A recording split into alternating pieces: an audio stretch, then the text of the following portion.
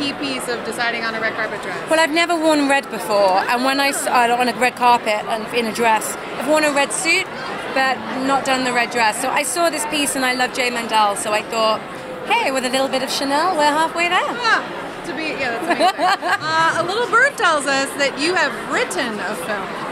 I have. I've co-written a film with my partner Anthony Byrne, and we start production when I go back uh, to London, so in a couple of months' time. I mean, how long did it take? Was it an idea you've had for a while?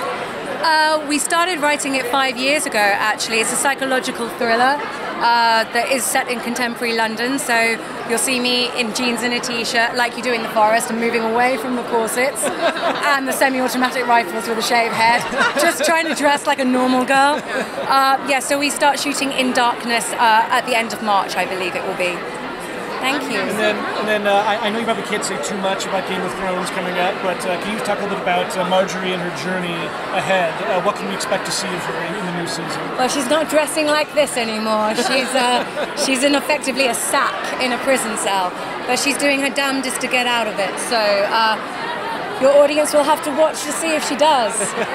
well, Natalie Dormer, thank you so much. Good luck. Very busy year ahead for you. Have a lovely evening. I'm so nice excited about your film. That's Thank amazing. You. Thank you.